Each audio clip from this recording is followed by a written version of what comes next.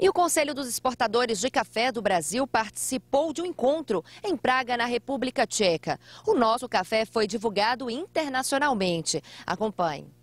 O workshop intitulado Tracking Coffee and Deforestation contou com a participação de traders, indústrias, associações de países produtores e importadores, Organização Internacional do Café, Agência Alemã de Cooperação Internacional, entre outras.